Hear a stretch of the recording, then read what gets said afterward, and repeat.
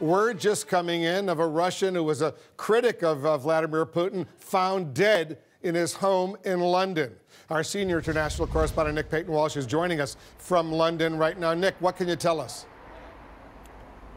Uh, proceed with a note of caution, Wolf, because it's very early days here. But Nikolai Glushkov, uh, we understand from uh, his lawyer speaking to Russian media, was the man who the Metropolitan Police have identified, sorry, have said was found uh, dead at his home uh, just south of London in New Malden uh, last night at about 10 o'clock. Now, cause of death is not given uh, at this particular point, but the police behind me say they've put the counter-terrorism police in charge of the investigation. I think purely because of the climate of suspicion and I might say uh, fear that is gripping London because of the deaths of Sergei and Yulia Skripal. Now, the same statement from the police says that at this point they do not believe there is any link to the events of Salisbury, but still, the fact that Nikolai Glushkov, uh, as we now appear to know, uh, a man aged 69, fair to say, who has been reported to have had health problems in the past,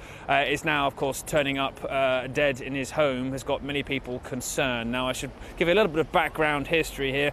Mr. Glushkov was an associate of a, uh, a, a what you call an oligarch, a very rich Russian businessman called Boris Berezovsky, who himself was kind of a kingmaker in the 90s. Many say responsible, in fact, for part of Vladimir Putin's uh, move into the Russian elite. But Berezovsky fell out with uh, the Kremlin moved to London, and a series of corruption cases uh, launched by his then enemies in the Kremlin followed him here. Also followed Mr. Glushkov. Mr. Glushkov was accused and sought for extradition from the United Kingdom uh, to Russia because of accusations he'd embezzled uh, millions of dollars from the Russian state airline Aeroflot. Now he was sentenced uh, in absentia on a number of occasions, did some actually some jail time in Russia on various charges, and found himself here in the United United Kingdom. So it remains a, a very key note of caution here because we don't know at this point the cause of death or if any foul play is suspected at all.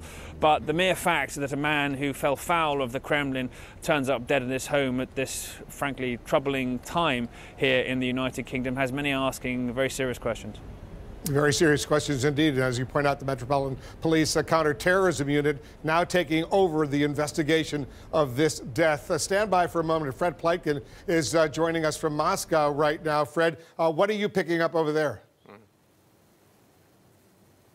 Well, it's interesting, Wolf, because a lot of Russian outlets are actually already picking up on this uh, very quickly. Uh, the state-run media has picked up it. Uh, other outlets have picked up on it as well. Right now, what we have from the Russians is pretty much factual reporting. Uh, they're saying that this man, uh, Nikolai Glushkov, that he has been found dead. Uh, his lawyer has been on Russian media as well confirming this. Again, right now, it's a lot of speculation as to what exactly the cause of death might be. That's certainly something um, that the folks here are going to be looking very close at, as will the authorities Uh, as well, to see if there's going to be any more speculation on that. But, you know, Nick is right. This does, of course, come at a very sensitive time after the poisoning of Sergei Skripal. Uh, then, of course, Mr. Glushkov as well was in that circle of people around Boris Berezovsky, Alexander Litvinenko, two people who uh, died under mysterious uh, circumstances, uh, especially uh, Litvinenko, of course, was poisoned, and someone who in the past had already said, look, uh, I might be the next one. He referred to himself as the last man standing uh, at one point. So certainly this is something where he was someone who was very critical uh, of Moscow, someone who had fallen out uh, with the powers that be here around the Kremlin, and certainly someone who believed that his life was very much in danger. Going to be very interesting to see in the next couple of hours, especially, how reporting here is going to happen in Russia, whether or not there's going to be any official statement, and whether or not this is going to cause even more issues between Russia and the United Kingdom, as things, of course, are already so fired up between these two countries. Uh, Wolf, I have to tell you today, uh, the Russians really not happy with a lot of the things that they've been hearing out of the UK. They've become very, very defensive, of course, about the Sergei Skripal case. We'll wait and see how they react about this one, Wolf. Yeah, I'm sure they are. All right, thanks very much uh, uh, for that, Fred Pleitgen in Moscow. Well, let's bring in our panel to assess this and all the breaking news here in Washington. Our global affairs correspondent Elise Labott is with us. Uh, CNN Global Affairs analyst Tony Blinken, uh, Blinken is with us. He's a former Deputy Secretary of State during the Obama administration, and our chief political analyst Gloria Borger is with us. Tony Blinken, you, uh, this is very disturbing. These uh, this death in, Mos- in, in London today. this Russian emigre what's been going on in Salisbury, elsewhere in England. How do you see it? Well, Wolf, if you're a Putin opponent, it's apparently not good for your health. Look, we don't know in this particular case uh, what's happened. Let's follow the facts. But there's a long list and growing list of uh, Russians who are opponents of Putin who are, uh, went, left, the, the, left Russia and wound up dead, including in the United States. Uh, but what's most pressing is this uh, case that we do know about, and we do have the facts on, at least from the Brits, uh, involving the uh, the death of, or well, the uh, the uh, poisoning of Mr. Skripal and his daughter, and Yulia. his daughter. Yeah. And there's a deadline tomorrow, as you know. Theresa May has said she wants to hear from the Russians by tomorrow on what happened.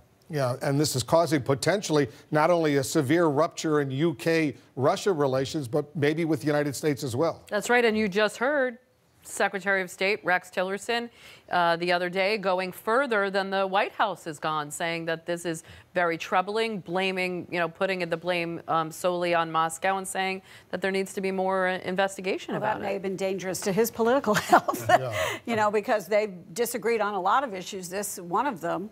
Um, and so. Tillerson was much more forceful in condemning the Russians than, for absolutely. example, the president. Well, the president's uh, press secretary uh, did not come out and refused after she was asked repeated times to come out and say, "Do you believe, as the as the British do, that that the Russians did this?" And she did not.